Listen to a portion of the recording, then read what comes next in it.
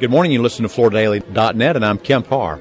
I'm at Greenbuild in Los Angeles, and I'm with George Bandy, the Vice President of Sustainability with Mohawk. George, how you doing? I'm doing great. How are you doing? I'm good. Last time I interviewed you, you were actually were wearing a, a, different brand. You were with Interface. You've been there many years, and you've just been over here what three, four months, right? That's correct. I've been over for about two and a half months now, and it's been a great experience and a good opportunity for me. The show's just starting today. I get here yesterday, and I'm looking at the sponsors, and Mohawk is at the very top of the list. So Mohawk has made a major commitment probably written a nice size check to sponsor Greenbuild this year. Talk about why you continue to invest in this whole green building subject. Sure, I, I think that it's important for a lot of different reasons. I think one, it's the only place where you have uh, end-use customers, uh, A&D community, CRE community, as well as multiple other vendors in the same space in the same roof at the same time. I think it gives you an opportunity to network and connect and strategize and collaborate with these specific groups in a lot of different ways. And it also allows you to be able to create a platform for you to share your message around sustainability with a large volume of people at one time. So I think that what USGBC has been able to do in terms of attracting and retaining the type of talent that they've brought into these spaces. And it's, you know, kind of created a great community of people who are actually in the trenches practicing sustainability and delivering on a lot of the processes and products mm-hmm. as it relates to the marketplace becoming better in a lot of different ways. So, as being the leading sponsor of the show, other than the brand recognition that's associated with this $8 billion flooring company, the largest in the world, what does it get you here at the show? Well, I think for us, more than what it is that we obtain is what we're going to be able to give. I think that we've created a platform for our Believe in Better message.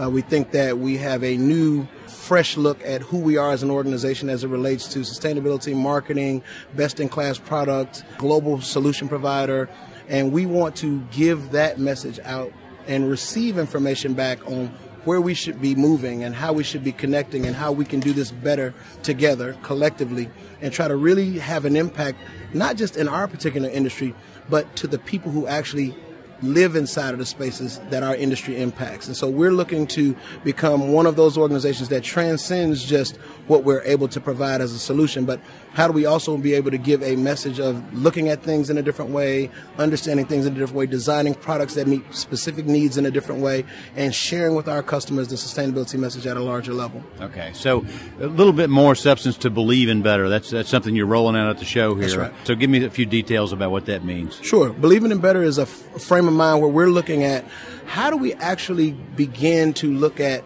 becoming a better organization and having an impact on other organizations in a much more significant way. So we believe that we are a better organization when we look at things differently, when we're able to provide the types of solutions that we need, when we're able to look at our R&D and our uh, innovation processes differently, when we're looking at manufacturing differently, when we're creating products that provide a different type of indoor air quality solution for customers who are struggling with those particular needs, giving off uh, red list free products inside of those spaces, being more transparent with the things that we're doing. Also, organizationally believing in better. So, how do we create the type of culture where everybody inside of our facilities begins to believe in better? So, not just making a product for customers that make them healthier, but also providing the type of health and wellness inside of our facilities for the plant employees that are making those products where they believe in better as well and mm-hmm. they can transcend that information to their families locally where they feel a part of the organization. And this movement is more than about providing a solution for a client. It's also about listening to a client and understanding where that next solution needs to be and providing the types of solutions for our folks that are actually working inside of the organization and creating a culture of believing in something that's bigger than just making product. Is this a Mohawk Group message, meaning focused mostly on the commercial side of the business? Yes, this is a Mohawk Group message, and the group is beginning to cascade that message out. But I think it'll become contagious in a lot of different ways. So I'm excited about what it has the capacity to deliver. Karen Mendelson and our new chief marketing officer has done an incredible job in terms of helping us to understand and connecting the dots of the organization and creating a consistent platform for us to share our message with the world. Okay. Let's talk about this show for a quick second. This show peaked at about 30,000 people. Mm-hmm. And I remember coming to the show and there were 20 or 25 flooring companies here. This year I see three major flooring companies, you being the top as far as sponsorship investment. So what is that telling us about this movement and about how we're looking at flooring's role in creating a better built environment? Well, I think there's a couple of reasons for that. I think number one, I'd like to say that we're beating them so bad that they don't want to come up out anymore. So that's one of the ways I like to look at it from yeah. a competitive standpoint. Right. But I also like to think that there are so many influences on making decisions around products now, not just the flooring industry, but also the furniture industry. There's a lot of different types of industry influencers that are weren't in existence before.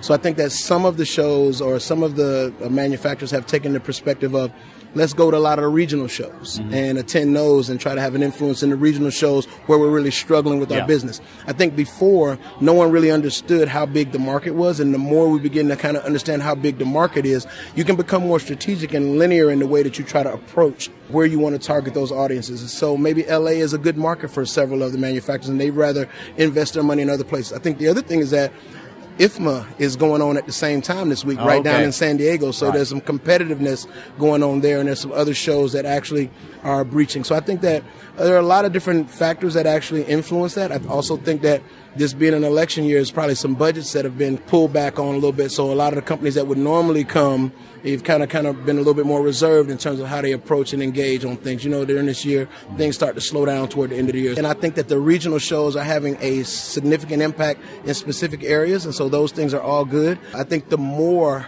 of this message that we can get out. The more people that can believe in better, the better we are as an organization, the better we are as an industry. And so we'll be able to have a much more significant impact. Well, that's very insightful, George. Good answer. Let me ask you one more quick question. As being the Platinum sponsor, you have some role tomorrow at the plenary event, right? I do have a role tomorrow, and I'm excited about it. I am humbled at the opportunity to kind of share the podium with some of the people who I've grown to love and respect in the marketplace in terms of market transformation. And I want to do my part to make sure that we share who we are as an organization and how we plan on engaging at a higher level to deliver that same message and really have an impact that's significant as we look at our belief in better in a much more strategic way. All right, George, good to spend time with you. Congratulations on your new role here at Mohawk. Again, been talking to George Bandy, the Vice President of Sustainability at Mohawk, and you've been listening to Kemp Harr and FloorDaily.net.